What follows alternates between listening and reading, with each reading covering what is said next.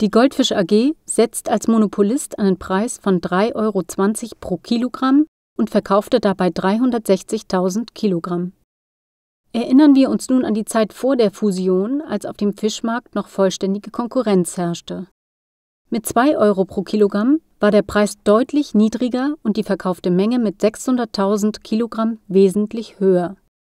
Dass die Konsumenten im Monopol einen höheren Preis zahlen müssen als bei Konkurrenz, wird sie wohl nicht überraschen.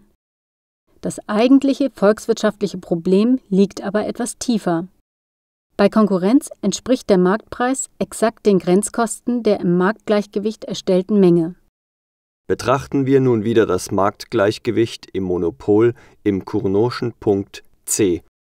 Da die Preisabsatzfunktion immer oberhalb der Grenzerlösfunktion des Monopolisten verläuft, ist der Preis im Marktgleichgewicht des Monopols höher als die Grenzkosten.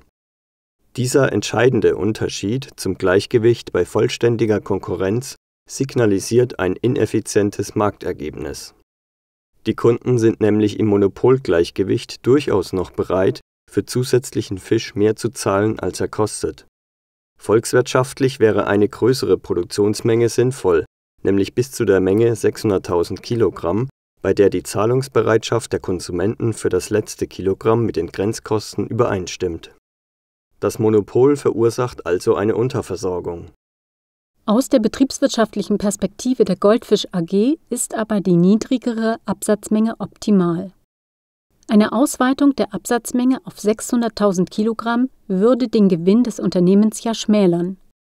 Der volkswirtschaftliche Wohlfahrtsgewinn aus der Summe von Konsumenten- und Produzentenrente wird dagegen durch die künstliche Verknappung im Monopol reduziert.